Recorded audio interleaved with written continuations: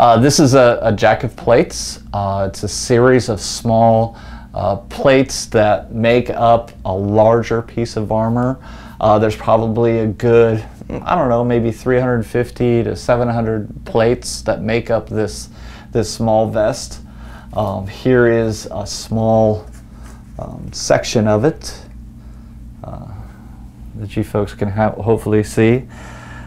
So um, as I said, this is complete, and so you can see the series of, of small plates that were sewn together uh, into this vest. Uh, this particular artifact was found in a soldier's pit uh, along the western wall of, of the fort.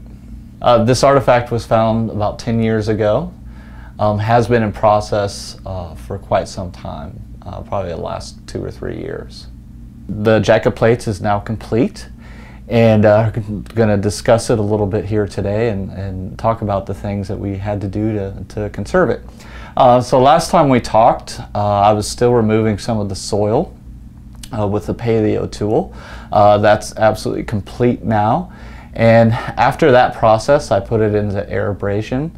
Uh, took about two to three months in there.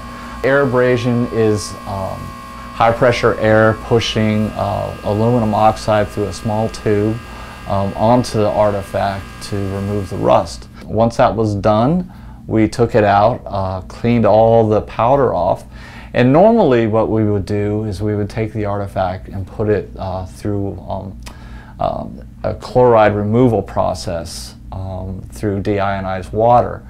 Um, this artifact was a little too fragile for that. I didn't want it to break apart. So after I air abraded, I simply cleaned all the powder off, um, the last remnants of soil, everything off that I could, and I put um, two coats of B72 on it um, and, and left it at that. I didn't, um, I decided against even flipping the artifact, removing the cheesecloth and doing the other side because it is so fragile.